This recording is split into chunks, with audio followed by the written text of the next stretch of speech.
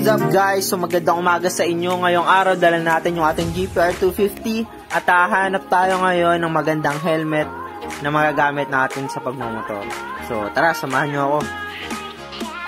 Una nating pupuntahang helmet shop ay yung bago dito sa bayan ng Lucena, itong Autobuy. Meron sila dyan mga gile, sec, mga spider helmet. So tingnan natin. Dumaan ako dito nung nakaraan at may nakita ko ditong magandang helmet. Ang Chameleon yung tawag. So, tingnan natin kung available pa. Marami din sila ditong iba't ibang helmet. So, punta lang kayo dito sa may bayan. Bagong bukas lang. Bago mag uh, Pacific Mall. Pagaling kayo sa bayan. Magkano yung matte black, sir? 3.5 Single color. Yan ang tricolor.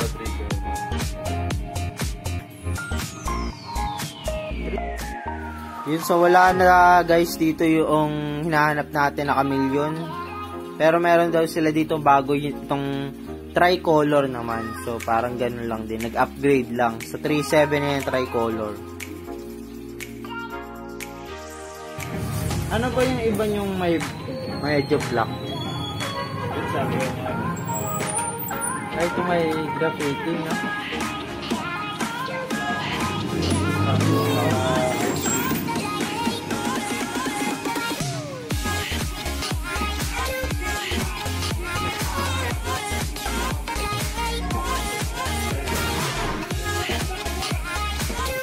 So, ito naman guys, yung mga sec, ano nila, sec helmet.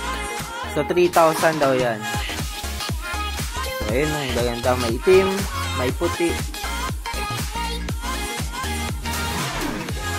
Bukod sa helmet, meron din sila dito mga t-shirts, pants, saka iba pa. Yan, so sinukat ko muna dito yung bago nilang ah, helmet, itong tricolor daw. So kapag nasisinagan ng araw daw ay nag-iiba yung kulay. Wala na dito yung hinahanap natin, yung tiningnan natin yung nakaraan, ubos na daw yung chameleon. Sa pagbili pala ng helmet, ah, siguraduhin nyo na sikip lang sa inyo yung helmet dun sa face ninyo nakaipit. Hindi pwede siyang maluwag. Hindi pwede rin naman na sikip na sikip. So, dapat tama lang. May sizes naman yan kung small, medium, large, ah, extra large yung, yung helmet. So ngayon punta naman tayo dito sa kalapit din na helmet shop. So Lucena Helmets yung pangalan ng shop nila. Tingnan natin kung meron sila nung chameleon design. Ayun, buti na lang meron pa sila ditong stocks nung chameleon design na hinahanap natin.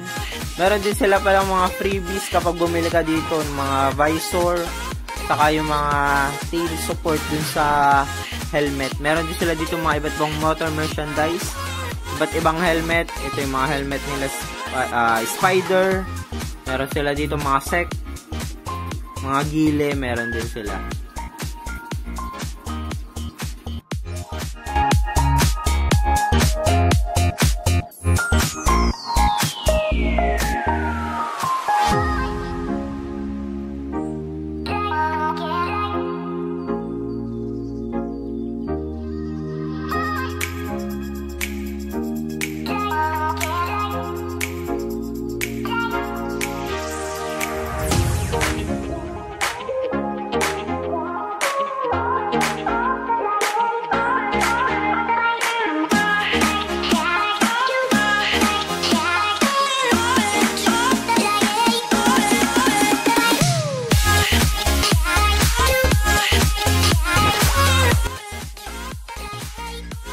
Bukod sa helmet, meron din pala sila dito mga pants, mga jackets, mga bike helmets.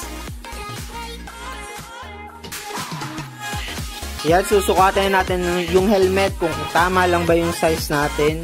So, ang size natin ay medium. So, dapat make sure hindi siya sikip na sikip. Hindi rin naman siya luwag na luwag. So, ayan yung itsura ng ating helmet.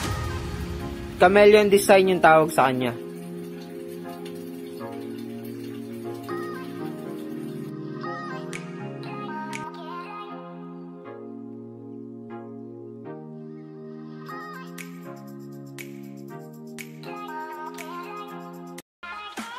Tapos ito naman yung itsura niya kapag suot yung helmet. So ayan, chameleon design siya. So merong may ibaba dito. Yung visor, tapos dual visor din siya, yung switch dito sa taas, tabi. So ayan, dual visor siya.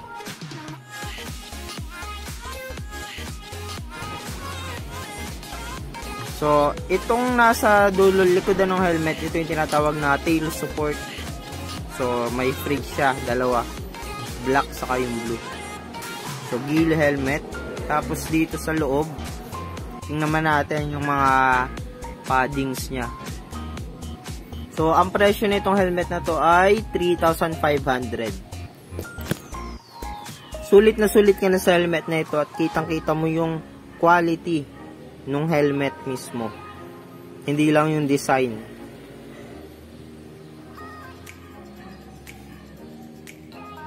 Thank